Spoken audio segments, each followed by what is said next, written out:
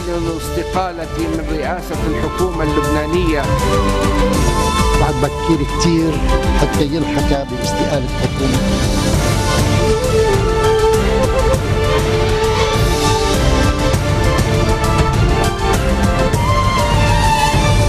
إنها السابعة ونصف مساء بتوقيت العاصمة بيروت. أهلا بكم إلى المسائية. نبدأها بالعناوين مع منير الحافي. مساء الخير في عناوين هذه النشرة. الحريري في القاهرة يجري مباحثات مع الرئيس المصري قبل قدومه إلى لبنان. بس توصل بتنور لبنان لأنه بدونه لبنان معتم مظلم. تحت شعار كلنا معك التحضيرات اكتملت للاحتفال بلقاء الحريري غدا. وروحاني يصف الجامعة العربية بالمنظمة المترهلة وفرنسا تطالب حزب الله بنزع سلاحه واحترام سيادة لبنان. يلي رح يكون هين هو. تقابل مندوب بلون بانك عبر الفيديو تشات. بلون بانك ليما معك كيف فيني اساعدك؟ بس يلي ما رح يكون هين. تبينوا اثنيناتكم بالكادر. رجيلي. تبين الطيارة مع هيك شعر. تقنع عمك إنه مش وقت تدوق التبولة. تعرفي مين عم يدقتون بالبناية. لا ولا يهمك. خذ وقتك أستاذ. اليوم بلون بانك بتقدم لك فيديو تشات. فيك تقابل فيها أي مندوب ساعة اللي بدك مطرح ما بدك وكيف ما بدك. إي بلوم تكنولوجيا بتسهل لك حياتك.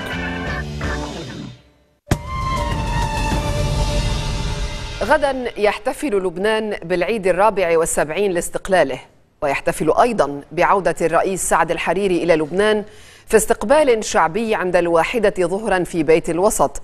دعت إليه منسقيات ومصالح تيار المستقبل وكذلك جمعيات أهلية من مختلف المناطق اللبنانية. الرئيس الحريري الذي وصل مساء إلى القاهرة أجرى محادثات مع الرئيس المصري عبد الفتاح السيسي ويشارك غدا باكرا في العرض العسكري الرمزي الذي يقام لمناسبة الاستقلال. قبل أن يستقبل المهنئين إلى جانب رئيسي الجمهورية ومجلس النواب في القصر الجمهوري. وفيما حمل الرئيس الإيراني حمل الرئيس الإيراني حسن روحاني على جامعة الدول العربية ومقررات وزراء الخارجية العرب قبل اتصال هاتفي مع الرئيس الفرنسي إيمانويل ماكرون. لفت الانتباه موقف وزارة الخارجية الفرنسية التي قالت إن باريس تنتظر من حزب الله أن يتخلى عن السلاح ويتعامل كحزب سياسي يحترم بشكل كامل سيادة لبنان. البداية من القاهرة حيث أجرى الرئيس سعد الحريري هذا المساء مباحثات مع الرئيس المصري عبد الفتاح السيسي. وللاطلاع على أجواء هذا اللقاء. تنضم إلينا مباشرة من العاصمة المصرية مفادتنا مها ظاهر. مها مساء الخير. ماذا في أجواء لقاء الرئيس الحريري مع الرئيس السيسي؟ نعم منير نحن معكم مباشرة من هنا من قصر الاتحادية في القاهرة حيث لا يزال هذا اللقاء ينعقد منذ الساعة السابعة بين الرئيس سعد الحريري والرئيس المصري عبد الفتاح السيسي الذي استقبل الرئيس الحريري استقبالا لافتا بحفاوة بالغة. هو لقاه عند المدخل عند قصر الاتحادية وكان ترحيب لافت بالرئيس سعد الحريري الذي كان وصف قبل أيام بأنه سيتوجه للقاء الصديق الرئيس عبد الفتاح الفتاح السيسي. وبالفعل كان استقبال لصديق ولزعيم وطنك الرئيس سعد الحريري. هذه الحفاوة أيضا ستتمثل بإبقاء الرئيس سعد الحريري إلى العشاء يقيمه الرئيس السيسي على شرفه. هذا اللقاء يحضره وزير الخارجية سامح شكري ومدير المخابرات المصري اللواء خالد فوزي ومدير مكتب الرئيس السيسي اللواء عباس كامل. هذا اللقاء يأتي في محطة هي محطة أساسية بين محطتين أساسيتين للرئيس سعد الحريري أي بعد عودته من باريس ولقاء الرئيس الفرنسي إيمانويل ماكرون وقبل عودته إلى بيروت غدا. هذه الزيارة يعني تأخذ حيز مهم على اعتبار موقف مصر من الأزمة اللبنانية إن كان قبل استقالة الرئيس الحريري أو المواقف المصرية بعد استقالة الرئيس الحريري إذ أن الرئيس الحريري كان حضر إلى هنا قبل ثمانية أشهر وأكد على الدور المحوري والأساسي لمصر في هذه المنطقة. كما سمع الرئيس الحريري يومها على ضرورة يعني على أولوية مصر في الحفاظ على استقرار ووحدة لبنان. وهو أيضا ما كان سمعه الرئيس نبيه بري أيضا في الخامس من هذا الشهر يوم التقى الرئيس السيسي في شرم الشيخ على هامش منتدى شباب العالم يوم قال بأنه يعني يحترم بأنه يؤكد على سيادة واستقرار لبنان وعلى أن لا يكون ساحة للصراعات الإقليمية. هذا فضلا عن الرسالة التي حملها اليوم المفد الرئاسي المصري للسفير اللبناني هنا في القاهرة وهي للرئيس ميشيل عون من الرئيس عبد الفتاح السيسي والتي أكد فيها السيسي على احترام لبنان ومؤسساته الدستورية ودعم المطلق لكل ما يوحد اللبنانيين وأكد وقوف مصر إلى جانب لبنان في كل المراحل السياسية والتاريخية. إذا نحن بانتظار أن ينتهي هذا اللقاء بين الرئيس السيسي والرئيس الحريري. لنعلم إذا ما كان هناك كلمة قد يقولها الرئيس الحريري أو إن كان هناك كلمة باسم المتحدث باسم الرئاسة المصرية. على كل حال تأتي هذه الزيارة في مرحلة مصيرية في المنطقة وفي لبنان. كما ذكرت قبل توجه الرئيس الحريري إلى بيروت ونظرا لتداعيات الاستقالة استقالة الرئيس سعد الحريري. ناقش خلالها الرجلان التطورات في لبنان والمنطقة. ونحن بانتظار أن يصدر أي شيء عن هذا الاجتماع. كما ذكرت منير بأنه سيتوج بعشاء يقيمه الرئيس السيسي على شرف الرئيس الحريري. شكرا مها ظاهر حدثينا مباشرة من القاهرة. سنكون معك في أي جديد. وغدا وتحت عنوان كنا ناطرينه هلا هو ناطرنا. يقيم محبو الرئيس سعد الحريري ومناصروه استقبالا شعبيا له في بيت الوسط وذلك عند الساعة الواحدة والنصف من بعد الظهر. كيف هي التحضيرات لهذا الحدث؟ التقرير لناهد يوسف. ساعات ويلتقي الرئيس سعد الحريري بمحبيه في بيروت. وكما غزت صوره شوارع المناطق اللبنانية كافة سيغزو اللبنانيون بيت الوسط. مؤكدين كلنا معك. الشارع يتحضر لوصوله إلى لبنان. فماذا يقول؟ أحلى تحية وأحلى سلام وأهلا وسهلا فيك بلبنان. أنت رئيسنا وأنت اللي مخلى يعم السلام بكل البلد. الله يحميك وبدونك نحن ما بنسوى شيء بس توصل بتنور لبنان لأنه بدونه لبنان معتم مظلم. أه بقول له الحمد لله على السلامة وبنحبه كثير نحن كلياتنا معه. رئيسنا وزعيمنا وتاج رأسنا.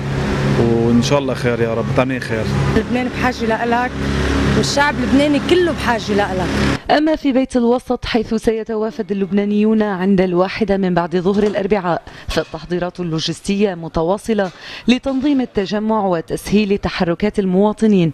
أربعة مواقف للسيارات في ساحة الشهداء تم تأمينها لتتمكن الوفود من ركن سياراتها والتوجه سيرا على الأقدام باتجاه بيت الوسط حيث سيكون محيطه مخصصا فقط للمشاة وليس للسيارات مع الإشارة إلى أن طرقات العاصمة ستفتح عند الساعة الثانية عشرة ظهرا عند الانتهاء من العرض العسكري لعيد الاستقلال. هذا الاستقبال الشعبي طلبته الناس. الناس متحمسة تتعبر عن محبتها وتأييدها للرئيس سعد الحريري.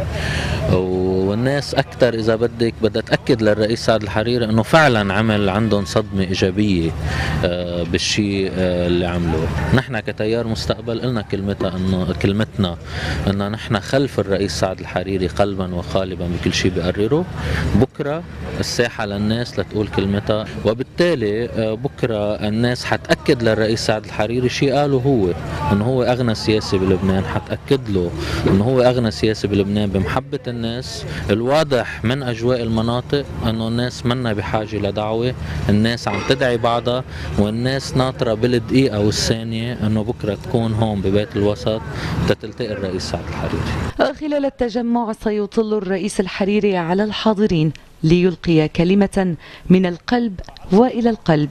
هذه الساحات ستمتلئ ظهر الأربعاء بمحبي الرئيس سعد الحريري بتحرك شعبي عفوي ليقولوا له كلمة واحدة اشتقنا لك من بيت الوسط ناهد يوسف تلفزيون مستقبل. وعشية الاستقبال الشعبي في بيت الوسط بدأ الأهالي في بيروت هذا المساء مسيرات مرحبة بعودة الرئيس الحريري. ولهذه الغاية تشهد منطقة قصقص الطريق الجديد في هذه الأثناء احتفالا مركزيا. من هناك ينضم إلينا مراسلنا ربيع شنطف. ربيع ما هي الأجواء في بيروت عموما وفي الطريق الجديد خصوصا؟ يعني كما تشاهد منير فإنها فرحة عارمة هنا في طريق الجديدة المفرقعات النارية التي أطلقت منذ بعض الوقت. وأيضا الأغاني لم تتوقف أغاني وطنية. هناك عدد كبير من المواطنين موجودين هنا. هنالك مسيرات سيارة في مختلف الأحياء البيروتية ينظمها تيار المستقبل. وأيضا الأهالي كلهم يحتفلون بقرب عودة الرئيس سعد الحريري.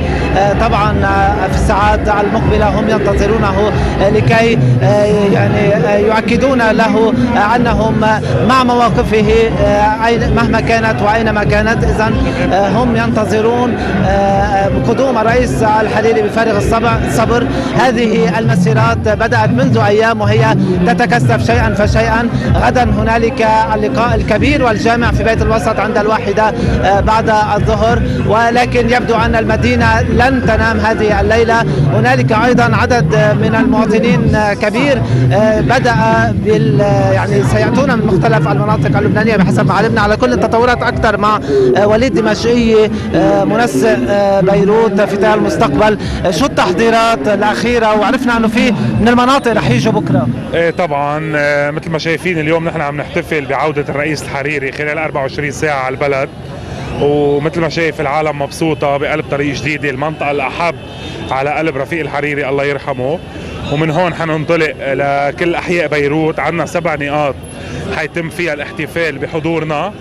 آه مشان ندعي لبكرة الدعوة اللي الناس أجبرتنا فيها واللي الناس بدها إياها لتنزل على بيت الوسط ولتعبر عن حبها وعن آه مشاعرها تجاه الرئيس سعد الحريري.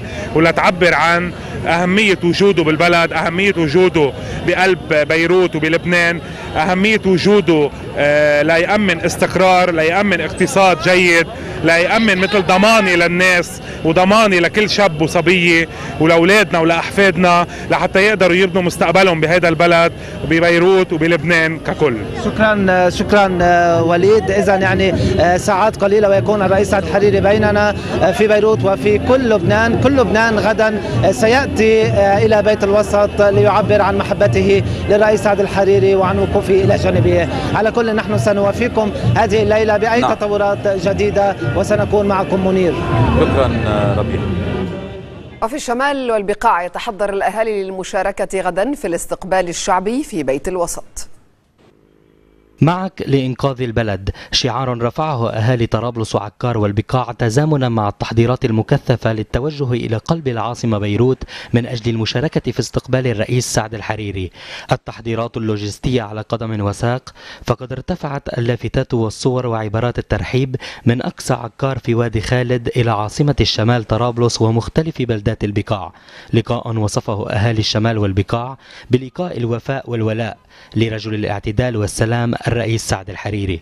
الاستقلال له رونقه وله طعم آخر غدا ولبنان كله يبتهج بعودة الرئيس الشيخ سعد الدين الحريري. نناشد العشائر العربية في لبنان وفي الشمال خاصة للتوجه لاستقبال دولته نهار الأربعاء لأن هذا البيت الوسط بيت الاعتدال بيت العز والكرامة. هذه محبة الرئيس سعد الحريري عند الناس. ويخطئ ومن يظن بأن الرئيس سعد الحريري شعبيته قد تراجعت هذه هذه الناس وهذا الوطن. اللبنانيين جميعا بكل طوائفهم بكل مذاهبهم رح يقولوا لسعد الحريري بتعبير لمحة مشهدية سياسية. حيقولوا للرئيس سعد الحريري نحن مع ثوابتك نحن مع مشروعك المعتدل نحن ما فينا نشوف لبنان بلا وجودك وبلا حضورك والنفس اللي أنت ماشي فيه. ثلج برد شتي نازلين كرمال الشيخ سعد طبعا. بنقول له ناطرينك ولبنان بلاك ما بيسوى شيء أكيد نازلين بنقول أهلا وسهلا بالشيخ سعد. بين هلأ بين إنه هو ضمانة لبنان وبين إنه هو الزعيم الوطني الموحد لكل الطوائف. بيقولوا إنه والله ما في حدا للشيخ سعد نحن مع الشيخ سعد بطرابلس. نحن مع الشيخ سعد للدم. صار في عندنا استقلال ثاني بلبنان بمجد الرئيس الحريري. ورجعت الروح للعالم كله سوا. رجعت الحياة مريحة للناس. نحن ناطرينه بفارغ الصبر. نازلين كلنا بالبقاع لنستقبل دولة الرئيس الحريري ونوقف معه لدولة الرئيس. وهذا شيء كثير فخر للبنان بعودته لأنه هو رجل الاعتدال وهو الرقم الصعب بلبنان. أهالي الشمال والبقاع يتوقون للمشاركة في اللقاء المنتظر في بيت الوسط من أجل القول للرئيس سعد الحريري اشتقنا لك ومعك لآخر المشوار مشوار البناء والنهوض بلبنان. بعد القرارات الأخيرة لجامعة الدول العربية التي اتهمت حزب الله بزعزعة الأمن في عدد من الدول العربية ومنها اليمن طغى الملف اليمني على خطاب الأمين العام لحزب الله. وقد لوحظ أن مواقفه الجديدة مناقضة تماما لمواقفه السابقة. التقرير لربيع شنطف المتابع لخطاب أمين عام حزب الله حسن نصر الله الأخير لا سيما في الشق اليمني منه يلمس تغيرا واضحا بمواقفه مقارنة مع ما كان يقوله سابقا. للعرب أنا أريد أن أنفي بشكل رسمي. نحن لم نرسل سلاحا إلى اليمن. لا صواريخ باليستية ولا أسلحة متطورة ولا مسدس. مسدس. إذا هلأ بتقلي أشرف شيء عملته بحياتك. أفضل شيء عملته بحياتك. أعظم شيء عملته بحياتك؟ بقول لك هو الخطاب اللي ألقيته ثاني يوم من الحرب السعودية على اليمن. هذا هو الجهاد. هيدا أعظم من حرب تموز. أنا إحساسي هيك. نصر الله في مجال آخر يتحدث عن العنصرية. والمشكلة كما قلت سابقا عند هؤلاء المسؤولين السعوديين هي الاستخفاف بالإنسان اليمني.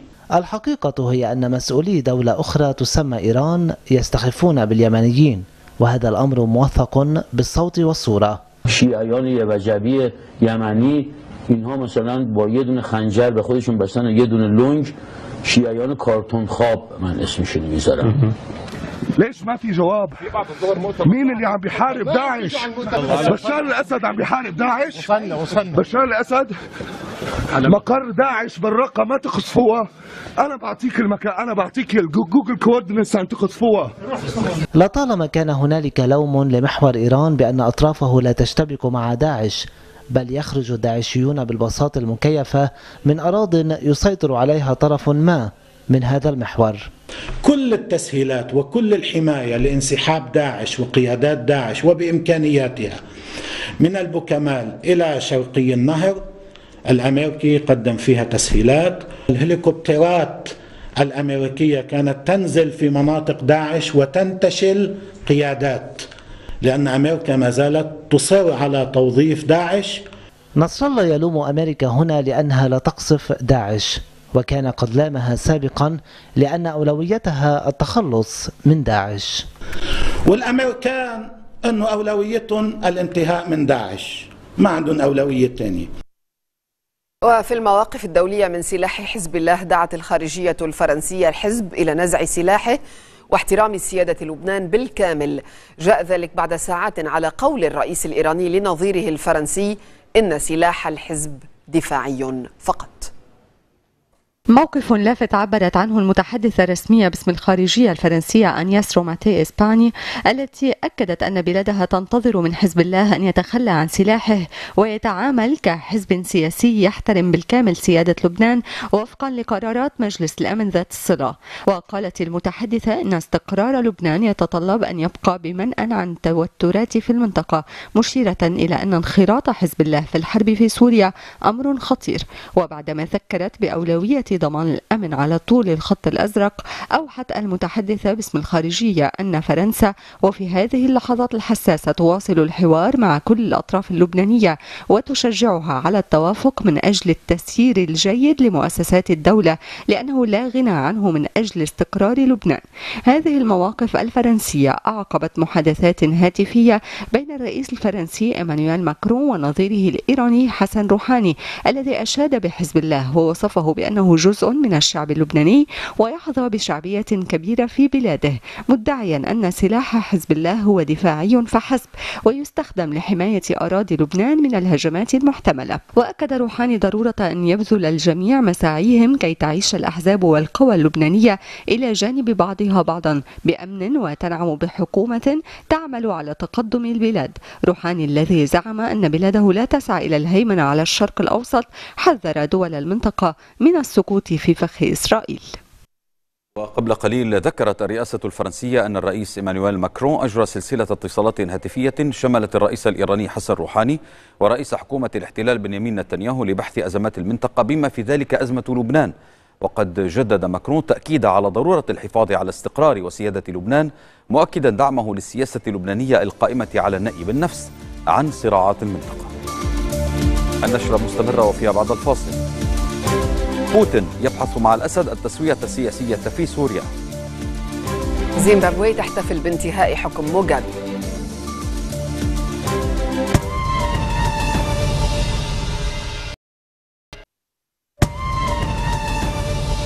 مشاهدينا الكرام ننتقل مباشرة إلى قصر بعبدة حيث يتحدث الرئيس ميشيل عون.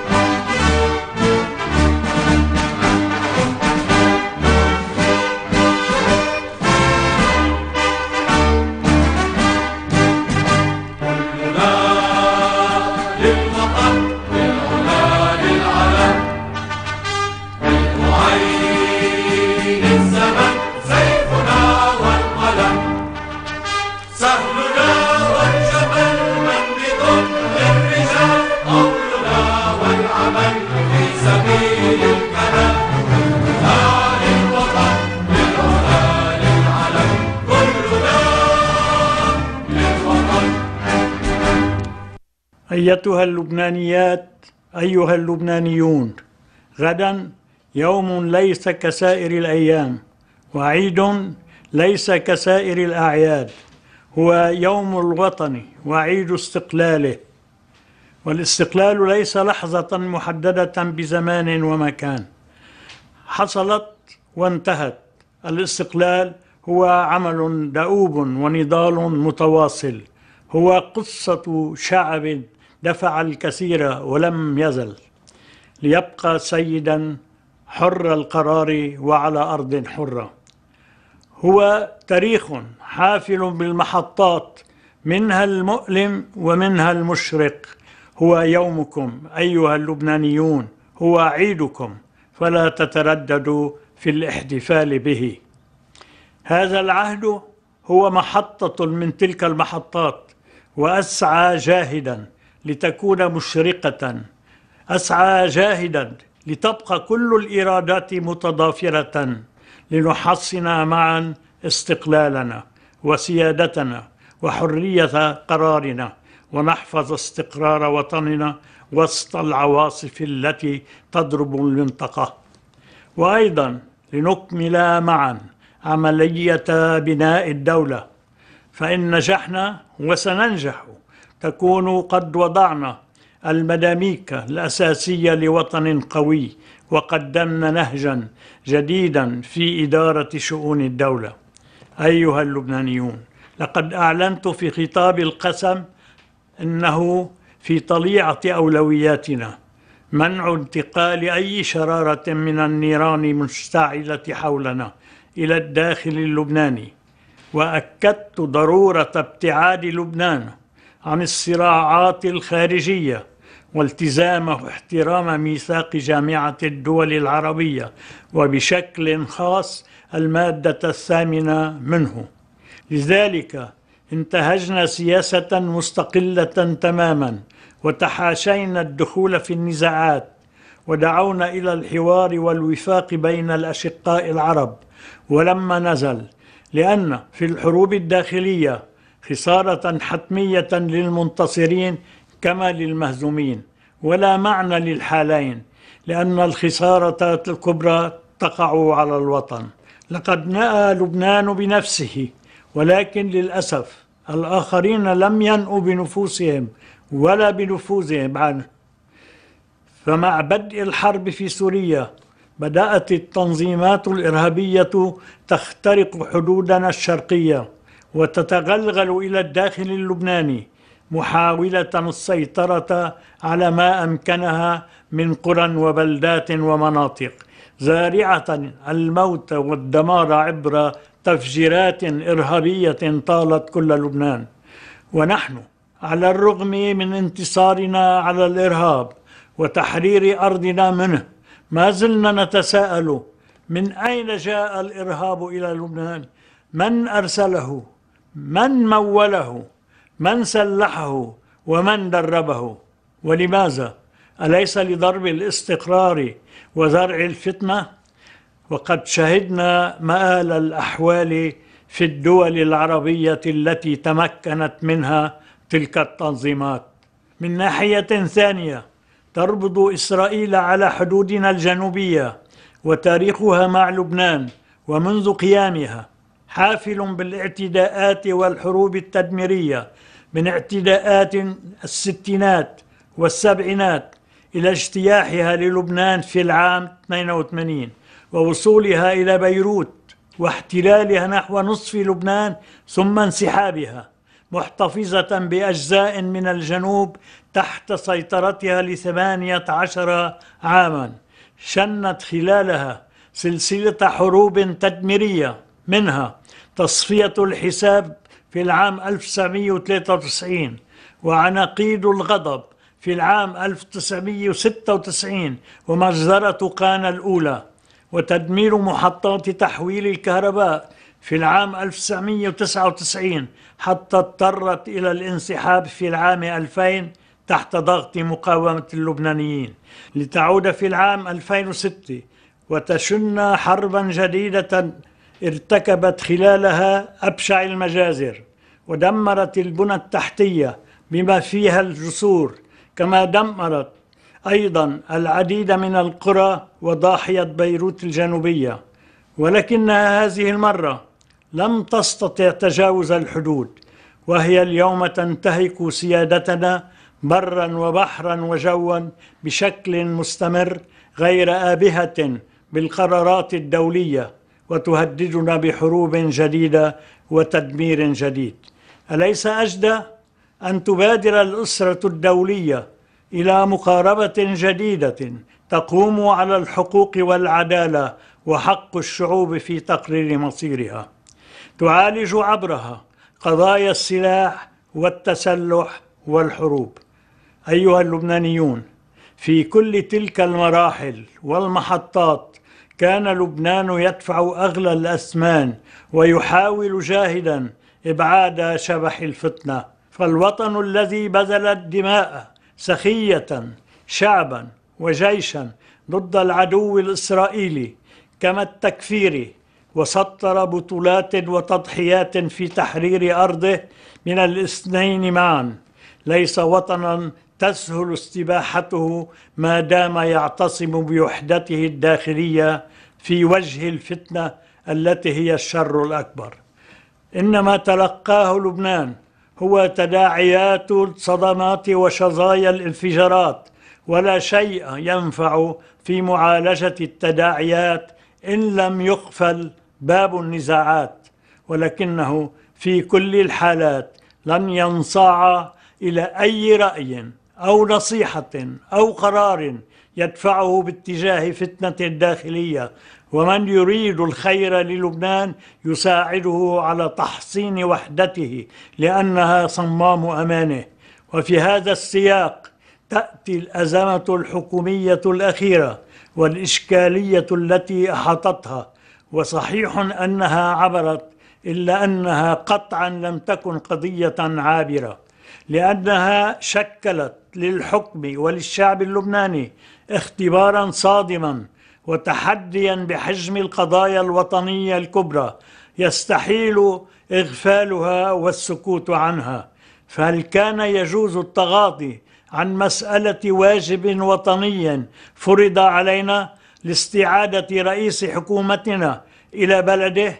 لأداء ما يجبه عليه الدستور والعرف استقالة أو عدمها وعلى أرض لبنان. ثم إنها أولا وآخرا مسألة كرامة وطن وشعب أظهر حيالها تماسكا وطنيا فريدا.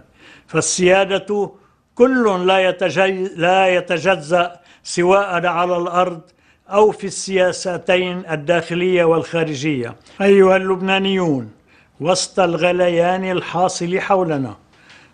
وضع رسائل أود توجيهها بكل صراحة وصدق. رسالتي الأولى هي للأشقاء العرب.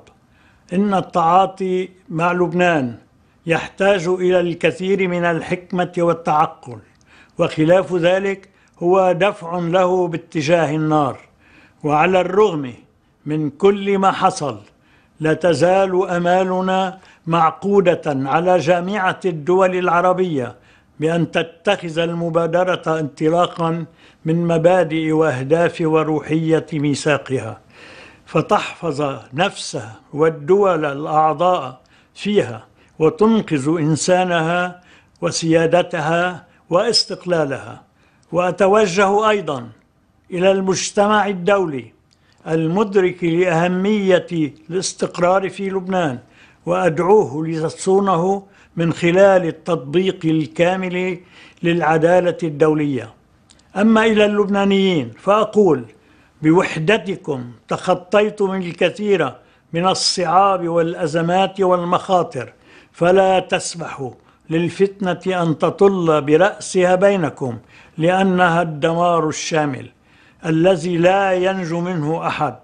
وحدها وحدتكم هي المنقذ هي أمانكم هي استقراركم وهي مستقبل وطنكم وأولادكم.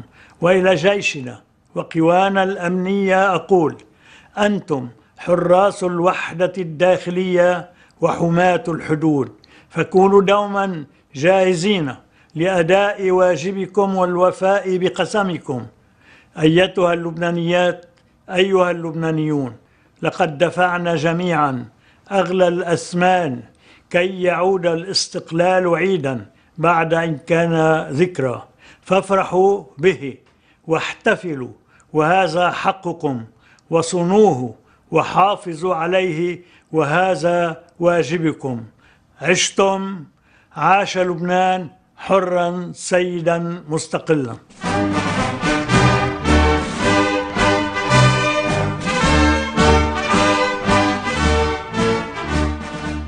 إذا كنا في نقل مباشر من قصب عبدة حيث تحدث رئيس الجمهورية العماد ميشيل العون لمناسبة عيد الاستقلال ونتابع النشرة خلال زيارة خاطفة ومفاجئة إلى سوتشي التقى الرئيس الروسي فلاديمير بوتين برئيس النظام السوري بشار الأسد وبحث معه سبل تنظيم العملية السياسية لتسوية الأزمة السورية. وبعد اللقاء أجرى بوتين سلسلة اتصالات هاتفية شملت الرئيس الأمريكي دونالد ترامب وعددا من قادة المنطقة. في زيارة استغرقت أربع ساعات فقط استقبل الرئيس الروسي فلاديمير بوتين رئيس النظام السوري بشار الأسد في سوتشي التي ستستضيف الأربعاء قمة بين قادة روسيا وتركيا وإيران وقبل جولة جديدة من محادثات السلام السورية في جنيف. الرجلان وبحسب الكرملين بحثا المبادئ الأساسية لتنظيم العملية السياسية لتسوية الأزمة السورية. الرئيس الروسي هنأ الأسد على النتائج التي قال أنه حققها في مكافحة الإرهاب القريب من هزيمة نهائية. ورأى أنه حان الوقت للانتقال للعملية السياسية. بات من المهم الآن التوصل إلى تسوية سياسية في سوريا. الأسد مستعد للعمل مع كل من يريد السلام والاستقرار في سوريا. أود أن أستمع إلى تقييمكم للحالة الراهنة وأفاق تطور الوضع بما في ذلك رؤيتكم للتسوية السياسية التي حسب ما تبدو لنا ومن دون شك في نهاية الأمر ينبغي أن تتم تحت إشراف منظمة الأمم المتحدة. نحن نعول على مشاركة نشطة لمنظمة الأمم المتحدة في المسار نفسه وكذلك في المرحلة النهائية. من جهته عبر الأسد لنظيره الروسي عن امتنان الشعب السوري للمساعدة التي قدمتها روسيا في الدفاع عن وحدة سوريا واستقلالها. نحن نأمل بأن تنجح روسيا في تثبيت ما تقوله دائما منذ بداية الأزمة هو عدم التدخل الخارجي في أي عمل سياسي في سوريا وإنما فقط دعمه من الخارج. وهذه هي المرة الثانية التي يزور فيها الأسد روسيا بعد زيارة سابقة جرت قبل عامين وتم الإعلان عنها بعد اختتامها. في غضون ذلك أكد رئيس الحكومة العراقية حيدر العبادي سحق تنظيم داعش من العراق بعد ساعات على إعلان إيران انتهاء التنظيم المتطرف في سوريا والعراق. هذا اعتبر الحرس الثوري الإيراني أن الحضور القوي لحزب الله كان له دور أساس في هزيمة داعش. بسم الله الرحمن الرحيم. أعلن الرئيس الإيراني حسن روحاني نهاية تنظيم داعش في سوريا والعراق حيث تقاتل قواته هناك. أشكر جميع المدافعين عن الإسلام ودبلوماسيي البلاد والحكومة والأمة والقوات المسلحة وكذلك شعوب إيران والعراق وسوريا ولبنان لأنها وضعت حدا للتنظيم الذي لم يحمل إلا الشر والشدائد وقتل الناس والأضرار البربرية. لقد تم اجتثاث جذور هذه الجماعة الإرهابية وإنه إنجاز عظيم. ويأتي إعلان روحاني بعد رسالة بعثها قائد فيلق القدس في الحرس الثوري الإيراني اللواء قاسم سليماني إلى المرشد الأعلى علي خامنئي. أعلن فيها نهاية هيمنة شجرة داعش الخبيثة. سليماني شبه بداية الثورة السورية بفتنة خطيرة مثل فتنة حقبة أمير المؤمنين علي بن أبي طالب عليه السلام بالعالم الإسلامي. وقال أن الفتنة هذه المرة كانت أكثر تعقيدا ومدسوسة بالسم الصهيوني والاستكبار. وزعم سليماني في رسالته إلى خامنئي أن ثبات الحكومتين العراقية والسورية والجيشين والشباب في هذين البلدين لا سيما الحشد الشعبي المقدس وبقية الشباب من سائر بلدان العالم الإسلامي والحضور القوي لحزب الله بقيادة حسن نصر الله كان لها دور أساسي في هزيمة هذا التيار الخطير على حد تعبيره. وسط هذه الأجواء أيد مجلس الوزراء السعودي مقررات الاجتماع الطارئ لوزراء الخارجية العرب وخلال جلسته الأسبوعية برئاسة خادم الحرمين الشريفين الملك سلمان بن عبد العزيز في الرياض شدد مجلس الوزراء السعودي على مضمون البيان الختامي لجهة إدانة مختلف الأعمال الإرهابية التي تنفذها إيران وتدخلاتها المستمرة في الشؤون الداخلية العربية ولجهة التأكيد على ضرورة امتناعها عن دعم الجماعات التي تؤجج النزاعات الطائفية ولا سيما في دول الخليج العربي. من جانبها ردت البحرين على الرئيس الإيراني حسن روحاني الذي وصف الجامعة العربية بأنها منظمة مترهلة وعديمة الفائدة ونفى أي علاقة لإيران بالصاروخ البالستي الذي أطلق على الرياض. وقد غرد وزير الخارجية البحريني الشيخ خالد بن أحمد الخليفة عبر تويتر قائلا ما يدعي بأن الجامعة العربية عديمة الفائدة هو نفسه الذي وقفت له الجامعة بالمرصاد لاستهدافه الدول العربية بهدف إسقاطها والسيطرة عليها. شهدت الهيئة العليا للمفاوضات السورية استقالات جماعية عشية انطلاق مؤتمر الرياض اثنين وقبيل محادثات جنيف المرتقبة نهاية الشهر الجاري. المعارضة وضعت الأمر في إطاره الطبيعي. أما روسيا فاعتبرت أن هذه الخطوة تساعد على توحيد صفوف معارضة الداخل والخارج. في العراق قتل 32 شخصا وجرح نحو 60 في هجوم نفذه انتحاري بسيارة مفخخة واستهدف سوقا مزدحما في أحد أحياء قضاء. تزخور مارتو شمال محافظة صلاح الدين. أوقفت الرئاسة الفلسطينية اتصالاتها مع الولايات المتحدة ردا على إغلاق مكتب منظمة التحرير الفلسطينية في واشنطن. وتزامن ذلك مع انطلاق اجتماعات تستمر ثلاثة أيام للفصائل الفلسطينية في القاهرة لبحث سبل تطبيق اتفاق المصالحة الوطنية بين فتح وحماس. تظاهر أكثر من أربعة ألاف إيراني أمام مبنى مكتب النائب العام في طهران مطالبين باسترداد أموالهم المنهوبة من قبل المؤسسات الحكومية.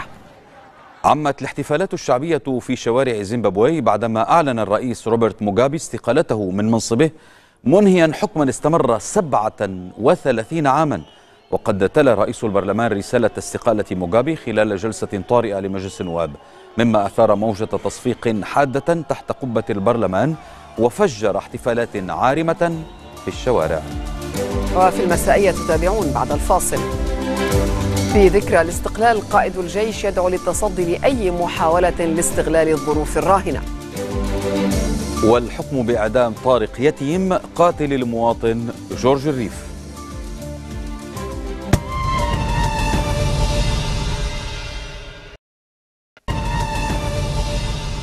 في ذكرى الاستقلال تلقى رئيس الجمهورية ميشيل عون برقية تهنئة من عدد من رؤساء دول العالم أبرزها من الرئيس الأمريكي دونالد ترامب الذي أكد أن لبنان شريك قوي للولايات المتحدة في مواجهة الإرهاب والتطرف. وقال نحن نقف بثبات مع لبنان وسنواصل دعم جهود بلدكم لحماية استقراره واستقلاله وسيادته. عون تلقى أيضا برقية من خادم الحرمين الشريفين الملك سلمان بن عبد العزيز آل سعود مهنئا ومتمنيا لرئيس الجمهورية الصحة والسعادة وللشعب اللبناني مزيدا من الازدهار. كما أعرب ولي العهد السعودي الأمير محمد بن سلمان في برقيته للرئيس عون عن تمنياته له وللحكومة وللشعب اللبناني بالتقدم الدائم. الرئيس الأمريكي أبرق أيضا إلى رئيس مجلس النواب نبيه بري مهنئا بعيد الاستقلال وجاء في البرقية إن الولايات المتحدة تقدر كثيرا العلاقات الثقافية والعائلية والسياسية والاقتصادية الدائمة بين شعبينا وبلدينا كما شدد ترامب على الشراكة مع لبنان في مكافحة الإرهاب مؤكدا مواصلة دعمه وحمايته. وأيضا لمناسبة الاستقلال وضعت أكاليل من الزهر على أضرحة رجالات الاستقلال. ومن أمام ضريح الرئيس الشهيد رفيق الحريري رجل الاستقلال الثاني أعرب الوزير نهاد المشنوق عن أمله بتمكن اللبنانيين من العيش بحرية, بحرية وسيادة مهما بلغت الصعوبات. على وقع لحن الموتى وضع وزير الداخلية والبلديات نهاد المشنوق إكليلا من الزهر على ضريح الرئيس الشهيد رفيق الحريري باسم الجمهورية اللبنانية فيما أدى ثلة من الجيش اللبناني التحية. المشنوق ومن أمام الضريح أكد أن الرئيس الشهيد استطاع أن يعطي لبنان المعنى الحقيقي للاستقلال. الأهم أنه ببلد مثل لبنان الاستقلال معركة دائمة لا تتوقف واللبنانيين دايما جاهزين ودايما حاضرين ودايما قادرين. إنه يحققوا استقلالهم مهما بلغت الصعوبات ومهما كانت القوى اللي عم تواجه هذا الاستقلال. وعلى ضريح الرئيس صائب سلام في منطقة قصقص قام وزير الاتصالات جمال الجراح بوضع إكليل من الزهر. كذلك فعل وزير العدل سليم جريصاتي على ضريح الرئيس رياض الصلح في الأزاعي أما النائب محمد قباني فوضع إكليلا من الزهر على ضريح رئيس حزب النجادة عدنان الحكيم في مدافن البشورة. أيضا وعلى ضريح حبيب أبو شهلة في ماريليز بطينة مثل النائب ميشيل موسى الرؤساء مكرما رجل الاستقلال. وفي خلدي وضع وزير الصحة غسان حصباني إكليلا من الزهر على ضريح الأمير مجيد رسلان. أما في صيدا فوضع النائب علي خريس إكليلا باسم الرؤساء الثلاثة على ضريح الرئيس الراحل عادل عسيران في حسينية البوابة الفوقة وفي طرابلس قام وزير الدفاع الوطني يعقوب الصراف ممثلا الرؤساء الثلاثة بتكريم رجل الاستقلال الرئيس عبد الحميد كرامي. إلى ذلك وضع النائب أنري حلو إكليلا من الزهر على ضريح الرئيس كميل شمعون في دير القمر. وعلى تمثال الشهيد بيير الجميل في بكفية وضع النائب عاطف مجدلاني إكليلا من الزهر. أما قلعة الاستقلال في مدينة رشية فغصت بالوفود التي أحيت المناسبة في احتفال أقيم في باحة القلعة. ولمناسبة ذكرى الاستقلال دعا قائد الجيش العسكريين إلى التصدي بكل حزم وقوة لأي محاولة لاستغلال الظروف الراهنة بهدف إثارة الفتنة وتعريض الوحدة الوطنية للخطر. ذكرى الاستقلال هذا العام تعود في وقت لا تزال الأصداء الإيجابية لعملية فجر الجرود تتردد محليا ودوليا بعدما تكللت بانتصاركم على الإرهاب. هكذا استهل قائد الجيش العماد جوزيف عون كلامه إلى العسكريين قائلا إن الأوضاع السياسية الاستثنائية التي يمر بها لبنان تستدعي منكم التحلي بأقصى درجات الوعي واليقظة والمواظبة على اتخاذ التدابير الكفيلة بالحفاظ على الاستقرار الأمني لأن هذا الاستقرار الاستقرار يشكل قاعدة صلبة لإعادة إنتاج الحلول السياسية المنشودة وجسر عبور للانتقال مجددا من ضفة القلق والشك إلى ضفة الخلاص والإنقاذ. ودعا قائد الجيش العسكريين إلى عدم التهاون مع الخارجين على القانون والنظام وممتهني الجرائم المنظمة والاعتداء على المواطنين وإلى التصدي بكل حزم وقوة لأي محاولة لاستغلال الظروف الراهنة بهدف إثارة الفتنة والتفرقة والفوضى. وتعريض وحدتنا الوطنية وسلمنا الأهلي ومصالح اللبنانيين للخطر كما دعاهم إلى متابعة العمليات الاستباقية ضد الخلايا والشبكات الإرهابية حتى توقيف كل متورط بدماء الجيش والشعب اللبناني وإحالتهم على القضاء المختص لينالوا جزاءهم العادل وإلى الجهوزية التامة على الحدود الجنوبية لمواجهة تهديدات العدو الإسرائيلي وخروقاته وما يبيته من نيات عدوانية ضد لبنان وشعبه وجيشه كما إلى السهر الدائم على حسن تنفيذ القرار 1701 بالتنسيق والتعاون مع قوات الأمم المتحدة في لبنان حفاظا على الاستقرار. إلى ذلك زار قائد الجيش على رأس وفد من القيادة رئيس الجمهورية ميشيل عون في قصر بعبدة وقد سلم الوفد الرئيس عون بزة القتال الجديدة التي ستعتمدها المؤسسة العسكرية والتي ارتداها قائد الجيش وأعضاء الوفد الذي رافقه. يصادف اليوم ذكرى استشهاد الوزير والنائب بيير جميل وللمناسبة غرد الرئيس سعد الحريري قائلا في ذكرى استشهاد الصديق والأخ بيير جميل نكرر وفاءنا لشعاره وشعارنا لبنان أولا. أضاف الحريري لن أنسى أبدا كم كنت وفيا يا بيير. أكد النائب إبراهيم كنعان عقب الاجتماع الأسبوعي لتكتل التغيير والإصلاح أن الوحدة الوطنية التي تجلت في الأسبوعين الأخيرين ليست خيارا بل واجب جميع اللبنانيين المحافظة عليها. وأشار إلى أن عودة رئيس الحكومة سعد الحريري تفعل عمل المؤسسات من جديد. هذه العودة اللي وحدة تفتح المسار الدستوري من جديد بتفعل عمل المؤسسات وبالتالي ترجع تنتج حركة سياسية لاستكمال ما كنا قد بدأناه. ولعودة لعودة الحياة السياسية في لبنان إلى طبيعتها. وهون بنشدد مهما كانت الخيارات وخيارات كل الأطراف هذا الأمر بحد ذاته كافي لاستعادة الثقة بكاملها. بعد سنة ونصف السنة على جريمة قتل المواطن جورج الريف على يد طارق يتيم أصدرت محكمة جنايات بيروت حكما بالإعدام بحق الجاني بينما أعلنت براءة صديقته التي كانت برفقته. أصدرت محكمة جنايات بيروت حكما بالإعدام على طارق يتيم المتهم بجريمة قتل جورج الريف وأعلنت براءة الضنينة لينا حيدر. الحكم القابل للتمييز صدر بعدما ختمت محاكمة يتيم في السادس عشر من تشرين الأول الماضي في قضية لم تخلو من صعوبات نظرا لتغيب محامي الدفاع عن يتيم المحامي أنطوان طوبية عن جلسات المرافعة خمس مرات ما دفع حينها المحكمة إلى توجيه كتاب لنقابة المحامين لاتخاذ إجراءات تأديبية بحق حقه. حكم الإعدام بحق يتيم جاء بعد تحقيقات مكثفة أجراها القضاء المختص في أسباب هذه الجريمة التي وقعت في العام 2015 بعد خلاف بين الضحية والجاني على أحقية المرور على طريق المطار قبل أن يلحق به إلى منطقة الصيفي حيث نفذ جريمته على مرأى من المرة ووثقتها كاميرات المراقبة في المنطقة وأظهرت إقدام يتيم على ضرب الريف ثم طعنه بسكين 17 مرة. نفذ يتيم جريمته مساء الأربعاء ترك مسرح الجريمة ورحل كأن شيئا لم يكن وبحسب التحقيقات شرب العصير وأكل الشوكولا في متجر مجاور من دون ندم ثم توجه إلى منزله ونام إلى أن ألقي القبض عليه فجر اليوم التالي. توصلت قوى الأمن الداخلي إلى معرفة الجاني الذي قام بإحراق مركبتين تعودان لسعوديتين قبل خمسة أيام في المصيطبي وجاء في بيان صادر عن قوى الأمن أن الجاني اعترف بإحراق السيارتين بسبب خلاف عائلي نافيا أي خلفية سياسية لعمله. والآن نصل إلى الفقرة الاقتصادية مع كارولا النقاش.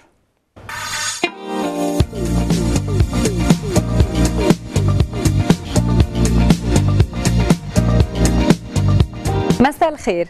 بجولتنا على أسواق اليوم رح نتطرق إلى أداء القطاع السياحي خلال الأشهر التسعة الأولى من العام الحالي. وفقا لتقرير صادر عن بنك مد ومستند إلى أرقام من وزارة السياحة بلغ عدد السائحين القادمين إلى لبنان حوالي مليون و449 ألف سائح أي زيادة سنوية بنسبة 11.3% مقارنة بالفترة نفسها من العام السابق.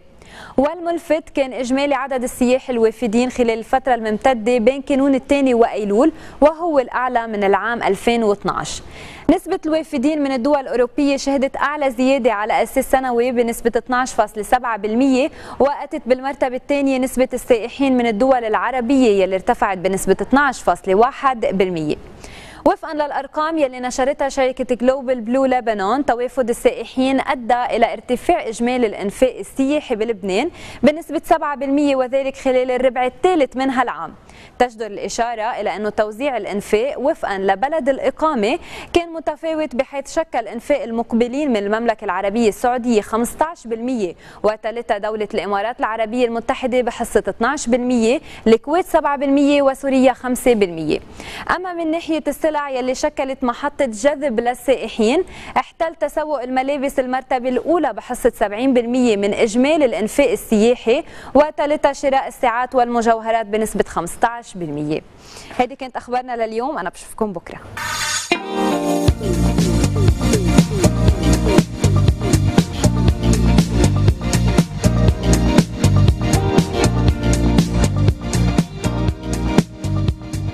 حالة طقس مع كارين خراط.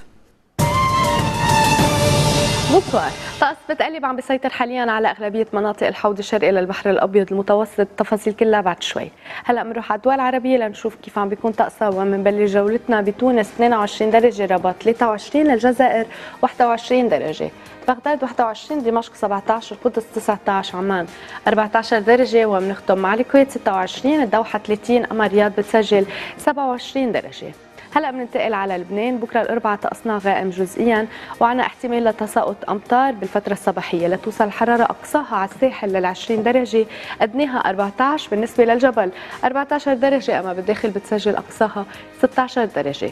تفاصيل أكثر بنروح على الخريطة اللبنانية ومنبلش جولتنا بعكار 18 درجة طرابلس 19 الأرز 4 الكورة 20 درجة. الهرمل 18 القاع 19 بعلبك 11 ريا 13 درجة. بنكفي بالمناطق اللبنانية على جبال 17 ميروبا 6 جون سننتقل إلى قصر الاتحادية في مصر حيث نستمع إلى الرئيس سعد الحريري.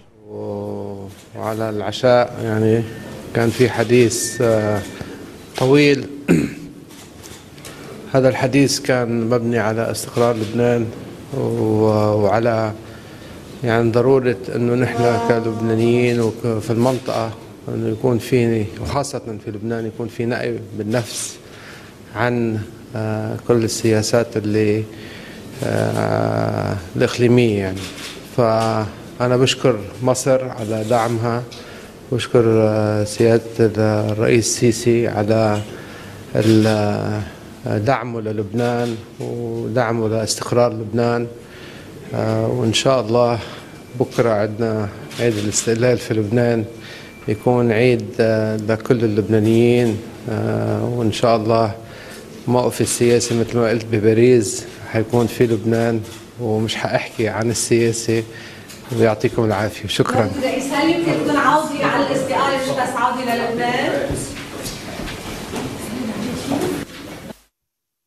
إذا بكلمة مختصرة قال الرئيس سعد الحريري من قصر الاتحادية أن الحديث بينه وبين الرئيس عبد الفتاح السيسي تطرق إلى استقرار لبنان وضرورة اتباع سياسة النائب النفس شاكرا مصر والرئيس السيسي على دعمه للبنان واستقراره. متمنيا أن يكون غدا يوم الاستقلال يوما مجيدا للبنان. وطبعا ختم الرئيس الحريري قائلا موقفي السياسي سيكون في لبنان. ختاما لهذه النشرة نذكركم بأبرز عناوينها.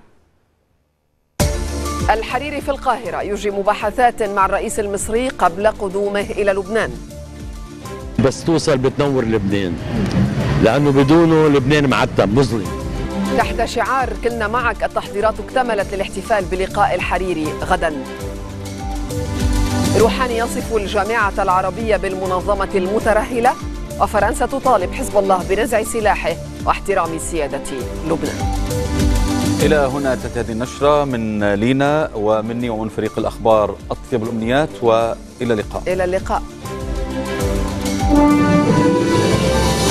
أعلن استقالتي من رئاسة الحكومة اللبنانية. بعد بكير كتير حتى يلحق باستقالة الحكومة.